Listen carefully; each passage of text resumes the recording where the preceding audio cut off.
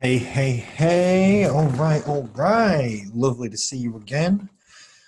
Connor Rhodes from Slim Society, podcast number 398 in the public. Um, private, no idea. Over 2,000 or something. And we're back again. Lovely to see you again. Um, 24th of June, coming up to 5 p.m. Wednesday, if you're watching live. I hope you've had a fantastic day. I hope you've been enjoying the weather. I am in central England. The weather has been a scorcher, hence the shorts. I'm actually looking not too reddened. Ooh, little bit on top of the old cue ball, but I'm looking not too reddened. Some you can tell what the weather's been like if you follow this page because slowly I just start to blend into the color of this chair. But anyway, I hope you've been enjoying the weather. Um, I hope you were pleased about some of the lockdown announcement changes if you're watching or listening from the UK as well. Gyms are still not open. Gyms are still not open. My Facebook feed is filled with angry personal trainers and gym owners, but you just do what you can do, don't you? It's just try to focus on what you can focus on and control what you can control. You can still get out running. Maybe you've got some home exercise equipment. You can still eat well. My members are still on it, still exercising where and when they can, still eating well, still trying to do what they can for their health. And I hope you are too. So, anyway, um, I've come to talk to you about two really important topics. Number one, fibromyalgia. Number two, stress eating both both can be absolute plagues on people sometimes. I've coached many people and still now coach many people with fibromyalgia also known as chronic pain um, which is a little bit more of an easier terminology to understand.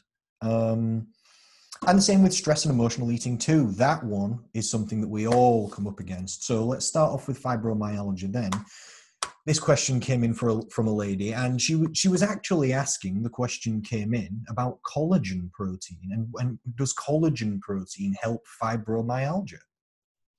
Um, which was strange. Which was a strange question. I don't I don't know if that's what people are saying or where she'd heard this or seen this somewhere, but the short answer is collagen protein doesn't really help anything. it's not. It's not amazing. You, you, just just get all of the protein. Just get a good protein intake overall, not a specific collagen protein intake, and then it'll be great. Your body will just make all the collagen it needs anyway, and it'll be fantastic. You'll have all the protein building blocks, not just that one collagen. So protein intake for fibromyalgia can definitely help. That's one of the things we're going to talk about soon. Um, but collagen specifically, no, you don't really want to aim for collagen anyway. But I thought I'd come here and just talk to you about fibromyalgia in general, what it is, maybe and perhaps and hopefully what we can do about it. So fibromyalgia, it's it's more easily understood as chronic pain, but it's also it's also kind of non-specific pain. It's kind of undiagnosed pain. Fibromyalgia is a diagnosis, but also it's kind of a non specific diagnosis. It's not actually saying or telling you or informing you what's going wrong. Fibromyalgia is not something that you can catch or anything like this. It, means you're experiencing pain chronically, means ex- for an extended period or all of the time but if it's labeled as fibromyalgia, that means that the doctors they can't really identify why, which which is the start then of a huge struggle for people sometimes. It can be the start for just a huge struggle for people sometimes to figure out what is causing this pain for them. Because there is a reason, which is one of my hopefully biggest motivating points that you could leave this with leave here with if you are a fibromyalgia sufferer um, like some of my members are, is that everything in the universe in the universe has causality. Things don't happen for no reason. Things just don't pop into existence today, and things just don't disappear either. So if you're in pain, there's a reason. There is a reason. No, we might not be able to understand specifically what it is right now. No, maybe not. The and I'm so sorry about that. If that's you, I am. I'm genuinely so sorry. But the it's not really anybody's fault it's not the doctor's fault. They're not trying to not help. It's not your fault either. Not necessarily. It's just the human body's just so complicated. The human body's just so complicated. We just don't know how the entire thing works yet. We don't know all the bits and pieces and all the nuts and bolts. We don't understand how we fit together. Honestly, we don't. We don't understand everything about nutrition, just in science in general. We just don't. So some things can be going wrong and it can't be sometimes identified why. Now, does that mean don't do anything about it? Is it then just, oh, I've got fibromyalgia and that's just the pain and I just need to live with it? No. No. What you you eat perfectly, do you? And you do what exercise you can on a good and regimented structure consistently, do you? And you take all your vitamins and minerals and your body weight's in a good range and you get a good amount of sleep per night and your stress levels are not crazy. There's no psycho- psychosomatic or psychological issues that can proven manifest in physical pain. All this just sorted, is it? Because if all that's hunky dory, then yes, okay, I'm not sure too. But, but, nearly always there's things we can do. There's areas that can be worked on. No, we might not know specifically what's going wrong or where the pain's coming from or what's going to fix it. But if we if if we're in a boat and there's holes in it, if we just start, we might not know which holes are sinking it. But if we just start plugging the health holes, who knows where we can end up? Especially with the human body, I've seen some things that seem like miracles occur. I've seen some recoveries and some changes in people, not with just fibromyalgia, but sometimes chronic fatigue, sometimes autoimmune issues, sometimes IBS gut issues, sometimes mental health issues, diabetes, polycystic ovary syndrome, heart disease, and cardiovascular disease. I've, I've seen turnarounds of these that you wouldn't believe unless I'd seen it with my own eyes and played part in it. I wouldn't have believed. And I've seen it with Fibro too. I've seen people attack, and it might be in their own way and it might be in their own pace, and they might not be able to use the same tools as everyone can, but who can?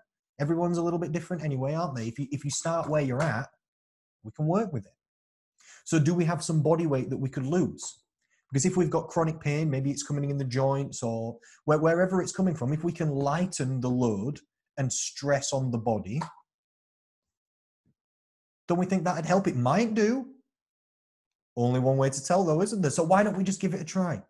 Why don't we just do all we can? Why don't we start attacking health from all the different angles? There's no pill that the doctors can give you, there's no potion that can fix it. They don't know what it is.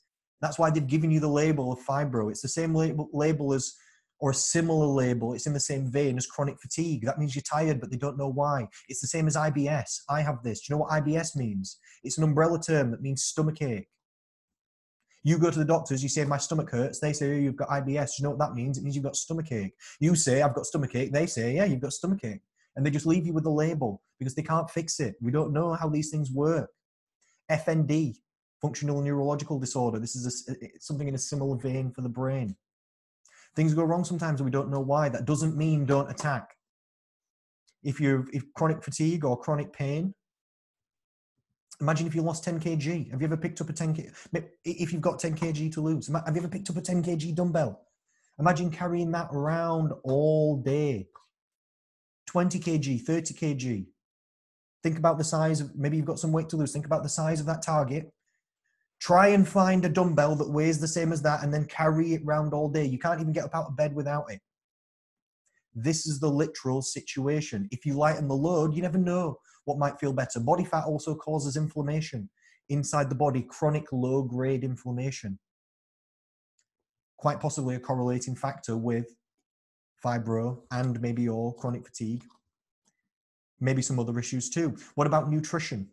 Are we eating perfectly? I know for a fact the answer is no, because I'm not eating perfectly either. I'm not eating perfectly either. I ain't no nutritional Jesus. I ain't eating perfectly either. No one is. We can all eat better. Can't we? We can all eat better. Are we getting all the vitamins and minerals that we can? Are we getting those fruits and veggies in?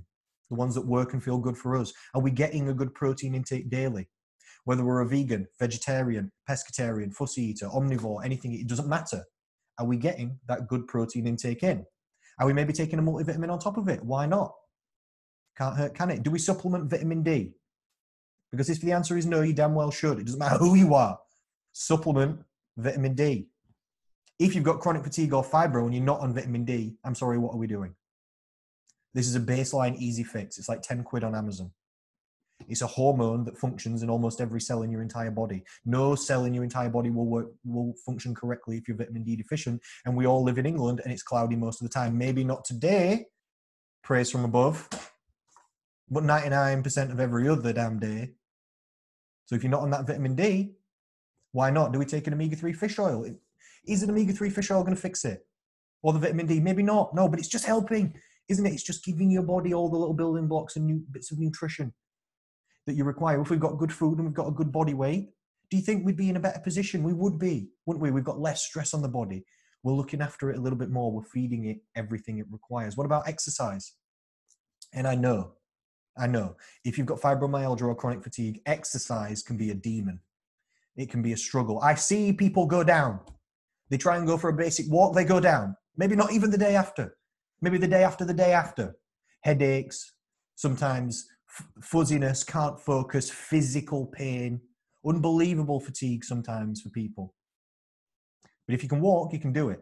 You know, sometimes doing too much is not a bad thing.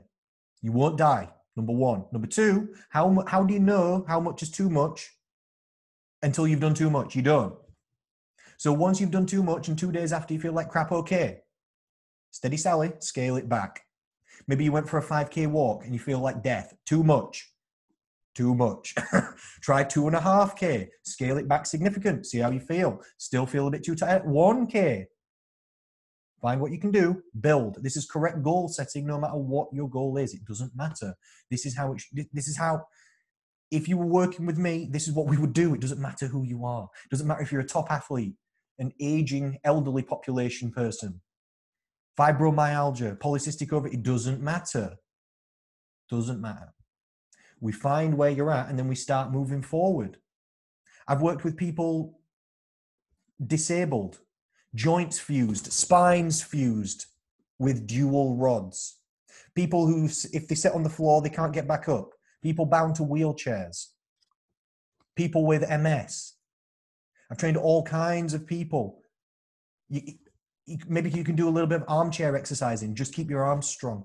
If you can take one step, you can do all the rest. Can you do one step? Because I've worked with people, I swear to God, who can't. I worked with a lady with MS. Can't do, couldn't at the time, sorry, correct my own language. Couldn't do one step at the time without crutches. Guess what we worked towards? One. Then what? Two. If you can walk across the room. Next week, can we do one and back? Just basic. It doesn't have to be all hell on high water tough mudder challenge? Does it high intensity interval? No, steady, steady. But we, if, if you're not exercising and you've got chronic pain, your body is not as strong as it could be. Your muscles and bones are not as strong as they could be, even slightly. If you aren't exercising for every year that passes, whether you like it or not, your bones and muscles deteriorate. If you've got chronic pain, you need to be fighting it and the fatigue as well. But just doing what you can, even if it's just a tiny bit, even if it's one rep with one kg dumbbells, oosh, or literally it's just. I've coached people if they sat on this chair in this position I am and did this, they can't stand up. We just start working towards it. That's all that we do. You just start where you're at. So if you're not exercising, get on it. Like I said, sleep. Are you sleeping well? You know, if you're sleep deprived, there isn't a single system in your entire body that will function correctly. You won't think correctly, you, you, decision making off, willpower off, slowed down, reaction times slowed down, memory impaired, everything, Eat physical. You'll, you'll get tired faster, blood sugar management off, hunger levels higher, cravings higher, everything. Not even just food, eyesight not as good, hearing not as good, everything walking, not everything, exercise, not yeah, but Connor, what about the yes? Think of any function. There isn't a single function ever been discovered so far that when you are sleep deprived functions correctly. One of the interesting things about it, this is just kind of a little side note, but when you're sleep deprived, you don't recognize how poorly you're actually performing. When you've not slept very well, you think you're fine. But if you were studied how well you're performing at work or with your exercise or something. It's just the thing that's tired and slowed down essentially can't assess itself as being slowed down because it's assessing itself we anyway you don't even notice how poorly you're doing when you're sleep deprived but that can also raise stress hormones and it can have it, has physical effects sleep deprivation you know this. So if you if it's chronic fatigue or it's fibromyalgia can we work on some sleeping patterns? Maybe. Can we help get a little bit more sleep? There's big things that can be worked on sometimes in those areas. What about stress? Things in the mind like i've said already. Psychological pain can proven manifest as physical pain. Things in the past that hurt you in the mind or the body can continue on for so much longer after. You know this. You know the mind can affect the body. If you start thinking about something that really makes you angry, it really makes you angry. Your heart rate will increase. You'll release adrenaline. You can change your phys- your physicality with your mind. Stress does this too. It raises cortisol. Over a long period of time, this could be having negative impacts. It can be when you look at those um, electrical brain scanners. What is it? What are they called? Leave on a comment. Is it ECG? Is it ECG? Um, leave on comments if you're watching this video um, as well. If you've got questions on anything that I've said so far, um, if you're if you're a sufferer of these and you you want help or you're looking for information or you've just got questions, please please leave on a comment on this video. I'll be glad to get back to you. Um, but on those electrical brain scanners, if you look at somebody who's got a broken leg and you look at somebody who's got a broken heart, they show up the same. Your brain interprets it, interprets it the same. Psychological stress and pain can manifest as physical stress or pain. So, is there some past issue that might need to be worked on? A little bit of therapy, amazing. A little bit of counseling, fantastic. Amazing for the body and the mind together as one. The body and mind are so connected that they're not really different things, you know. They're not quite the same thing, but they're also not quite different things. They're not one and two different things. They're more like non dual, which means not two. It means not one either, because they're not one, but they're also not two. They're non dual. It's non duality. That's interesting, isn't it? Um, if we worked on all of these things, if your body weight was down, if your nutrition was in order, if you were exercising regularly and your muscles and bones were strong, if you were sleeping well, some of the pain again, maybe some of the fatigue too, maybe some of the other side effects, they might just be reduced. I can't promise anything. Everyone's different.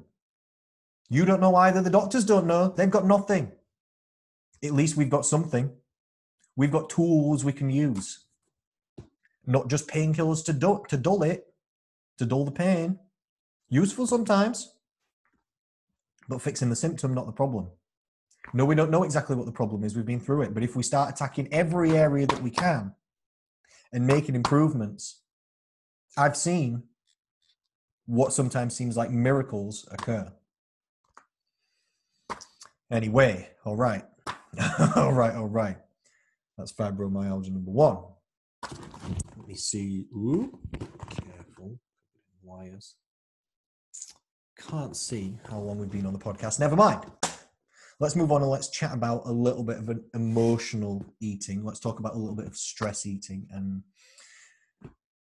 stress eating management. I've got four top tips for you in this area, and I've been so this this could be this is in fact an entire one hour lecture in my six steps to slim um, fat loss and weight management and health management course. So I can't go into it in super ultra depth, but this is a problem that we all come up against. Point number one, my most important point, is it's normal. There's nothing wrong with you. I see so many people, so many people feeling like, oh, I stress eat, or when I get stressed, or I turn to food, or once I've started eating on the biscuits, I can't stop, or when I've had one bad day, or I turn it into others. It's like, no, it's everyone. It's me too. When people say these things, oh, I stress eat, or I, I boredom eat, boredom is a form of stress. Oh, they, they, they say I, I hear me too. I hear everyone. It's not just, it's not just you. It's a constant battle for all of us It's nature and nurture. It's genetic and it's environment. It's all of it. The food environment makes it so, so tough. There's food everywhere. There's advertisements everywhere. It's so easily accessible. It's so cheap. It's so highly palatable, which means tasty. it's just ultimate easy access, isn't it? Makes it tough, number one. Number two, humans are genetically primed to love, search for, seek out, consume food, especially high calorie dense foods, especially easily accessible high calorie dense foods. Good for survival. In a caveman world, like we've got bodies for 300,000 year old human bodies or more. In today's world, the modern food environment, a brain that always craves food, especially in a time that's tough. You know, if you've got stress, like we said earlier, linking back to the mind, your body interprets physical and mental stress, psychological stress, the same. If there was real danger, it might be a good idea to eat loads of food and then hide. Might it? If there was real life danger, like if you were a caveman. So you're wired up for that situation. So it's no wonder when, like with the pandemic, what do we want to do? We want to eat and hide. Stay inside. It's normal. It's the wiring of the brain. So don't beat yourself up about it. That's point number one, please. That's point number one. That just compounds negativity. If you're feeling bad about feeling bad, if you're feeling bad about the negativity, that's just causing it, isn't it? Throughout the whole lockdown, um, there's psychologists and counselors, etc., inside my Six Steps to Slim program. And I was doing a lot of work, split screen, live videos, and content, etc., with them, talking about stress management. But it, the, it's it's stress in general its methods and tactics to fix it. Here on this video we're just applying it to food. The biggest thing that kept coming up and up and up and up again with stress management was try and fix the stress. Again it's causality. It's not your fault you feel stressed. Humans get stressed. We're perhaps the most stressed of all mammals. You've seen wild animals they're always stressed. If you even look at them they go and freeze. And then if you take one step they'll run off. That's you too it's survival. It's survival. Um, so hu- humans are perhaps the most stressed because we have the ability to predict the future as well, and we can think about all the things that might go wrong. That's what anxiety is. Thoughts of the future, the things that have gone wrong, depression, thoughts of the past. We've got all this to contend with too real danger and imaginary, unlimited imaginary danger. Haven't we? Um, so it's not your fault you feel stressed. Number two, it's not your fault that you want. This is not point number two. This is point one B. it's not your fault you want to escape it. Classic Freudian psychology: humans move towards pleasure and away from pain. It's not your fault you want to escape the stress either. So we all need stress management methods. We all need tactics to deal with and cope with stress. Those not being the same thing. My point one was it's not your fault; it's your function. Number two, try and deal with the stress. Dealing and coping is not the same. Point number two is try and fix the thing that's causing you stress. You might not always be able to, but if you're feeling stressed, there's a reason why. There's a reason why. Try and dig deep. Try and delve into the causality. Try and attack it at the root cause of the problem. Can you fix the thing that's causing the stress? That cuts it off. Job done. Maybe never to return. Maybe you can't but maybe you can. Point number three is what do you do if you can't? Some some stresses you can't fix. The pandemic, not your fault. You can't fix it either. So for that, we need stress coping mechanisms, and that's this is where food comes in. Using it as a stress coping mechanism or a boredom coping mechanism. Again, boredom just being food, and boredom another symptom of lockdown, isn't it?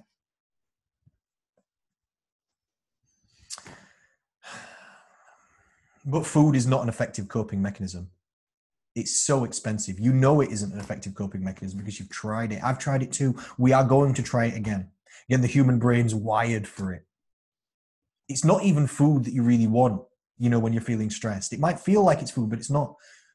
Your brain's just linking food to what you really want. Food is allowing you to feel better. That's what you really want. You're looking for stress relief. You're looking for distraction. You're looking for a dopamine hit from the brain. That's what junk food, food, but junk food especially, salt, sugars, and fats, particularly blends of these together. This is what they give us. Stress, cortisol hormones in the brain. How do we get rid of that? Let's fight it. We want to feel good. We want to escape. We want to distract. That's what you really want.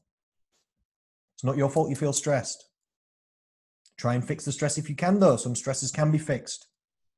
Try not to just ignore them. Hiding from problems doesn't fix them. Sometimes it's face the demon, isn't it? Attack the problem if you can. Do what you can. That's always number two. Number three, if you can't do anything about it, yes, have stress management methods. Yes, have stress coping mechanisms. Food's one of them, but food's costly, very expensive. No, not in terms of money. You can buy that multi pack for cheap. In terms of health and your goals, not anybody's goals, but you're watching, listening to this video wherever you are on the internet because you have you're interested in some way shape or form in health or body weight or nutrition your health being healthier being happier something along these lines. That is what food costs you when we overeat it. Yes it gives us that little dopamine hit but at what cost? Not much in terms of money or effort. 50p a chocolate bar open it and in it goes but then it can turn into just more and more and more especially when we're stressed can't it? It can just turn into too much and then that can turn into body weight and health management issues. And then it's created problems and it's not solved any. I promise you one thing and this is a harsh realization. This might be a little harsh but this is true. Unless it's starvation which in the western world mostly on average you've got the opposite problem there isn't a single problem in your life that chewing is going to fix. Eating doesn't fix life's problems. It doesn't matter what it is. If it's money problems, he should said this, she said that, the pandemic, work stress, back to work, not back to work, whatever it is, family stress, Chewing's not going to fix it. Eating is not going to fix it. It's going to compound negativity and problems. Yes, you'll distract yourself, but it's such an expensive distraction. It costs about 100 calories per minute. It's an average, but 100 calories per minute. So 60 minutes. How many calories could you eat in an hour? How long is it going to take to burn those back through? Running is 250 calories per half an hour. To lose one pound, 17 and a half thousand. No, sorry, 17 and a half hours. I was thinking two numbers in my head at once then. It's three and a half thousand calories in a pound. 17 and a half hours. No, again, that's terrible maths. 7.5 hours. Too many. Too many. I shouldn't try and do mental arithmetic in the middle of a rant. 250 calories per half an hour, though, and it's 3,500 calories per pound. You can eat them way faster than you can burn them. So it, it's not your fault that you get stressed. It's not your fault you want to feel better or escape it or be distracted from it either. It's really not. But we need stress coping and management methods that are helpful and not harmful ones that are not harming your other goals or your physical health. Or even sometimes our mental health because even sometimes after we've eaten it we think oh why have i done that? It didn't even help. Did it? Now we've just got two problems. The thing that was making us stress in the first place still exists. Now we've got body weight management and goals too don't we? So it's compounding problems. So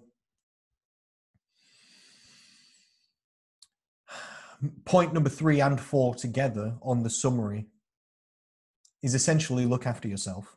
Be nice to yourself. Be nice to yourself. Pamper yourself. You know, when you feel stressed, yes, you want to feel better. Yes, you want to distract and you want to escape. That's okay. If we can't, maybe we can fix it, maybe we can't. Even if you can or can't fix it, still look after yourself, your mental and your physical health take a little bit of time for yourself. Like we said, it's not the food you're looking for, it's to feel better.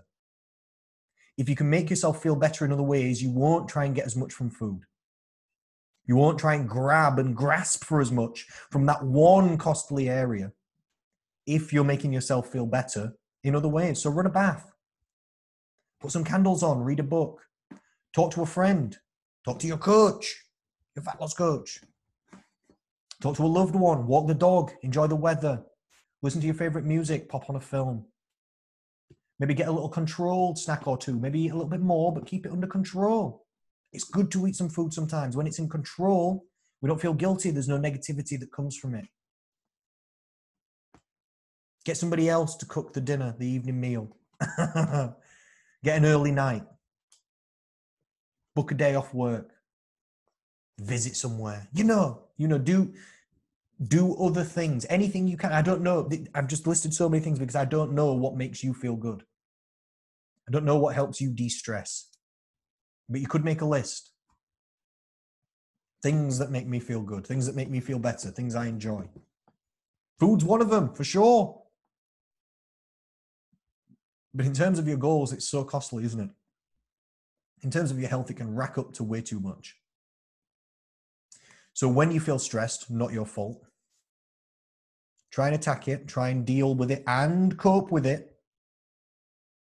When coping with it, though, the more you can turn to other stress management methods, other people, friends, and family, the more you can look after and pamper yourself in other ways, the less we'll turn for and grasp for that very costly and expensive method of food.